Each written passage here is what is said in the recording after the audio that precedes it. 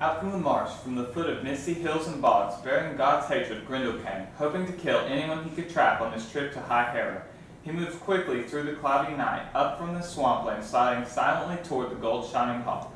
Never before nor after that night had he found Herot defended so firmly, his reception so harsh.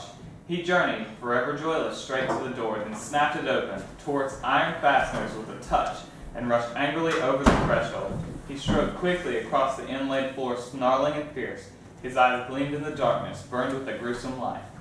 Then he stopped, seeing the hall crowded with sleeping warriors, and his heart laughed. He relished the sight, intended to tear the life from those bodies by morning. The monster's mind was hot with the thought of food he would be feasting with his belly.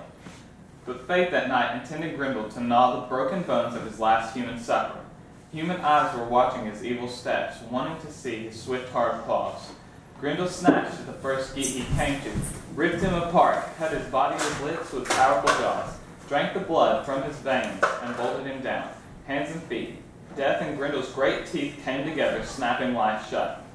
Then he stepped to another still body, clutched at Beowulf with his claws, grabbed a strong, wakeful sleeper, and instantly was seized himself. Claws bent back as Beowulf leaned up on one arm.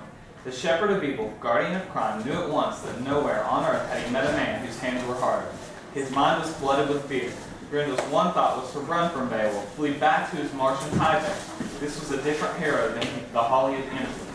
The Hygelac's follower remembered his final boast and, standing erect, stopped the monster's flight, fastened those claws in his fists till they cracked, clutched Grendel closer.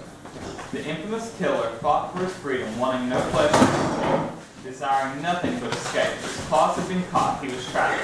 That trip to Herot was a miserable journey for the writhing monster. The hall rang high, its boards swayed, and Danes shook with terror down the aisles the battle swept, angrily and wild, Herot trembled. Wonderful built to the blows, struggling great bodies beating at its beautiful wall, shaped and fastened to iron inside and out. Artfully worked, the building stood firm. Benches rattled, buffers, gold-covered doors, its Grendel and Raven battled upon them. Hrothgar's wise men had fashioned Herot to stand forever. Only fire they had planned could shatter what such skilled workers had put together. Swallow in hot flames with such splendor of ivory, iron, and wood. Suddenly the sounds changed. The Danes started in new terror, cowering in their beds as the terrible screams of the almighty enemy sang in the darkness.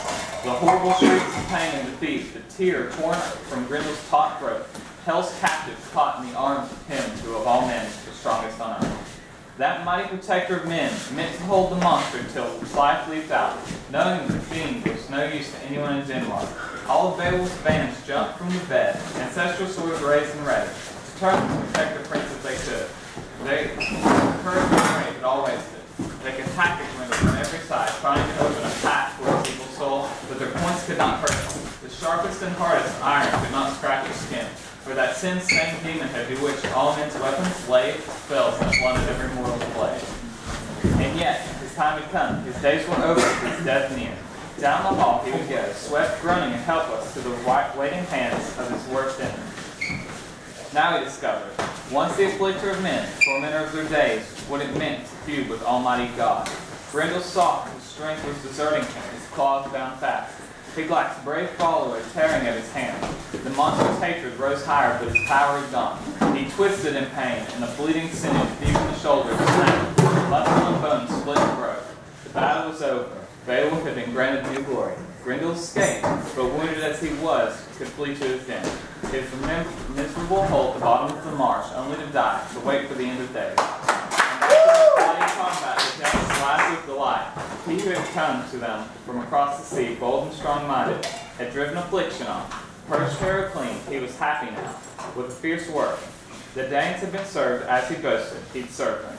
Beowulf, a prince of Geats, had killed Grendel, ended the grief, the sorrow, the suffering forced on Hrothgar's helpless people by a bloodthirsty fiend. No Dane doubted the victory, for the proof hanging high from the rafters where Beowulf had hung it was the monster's arm, claw and shoulder and all.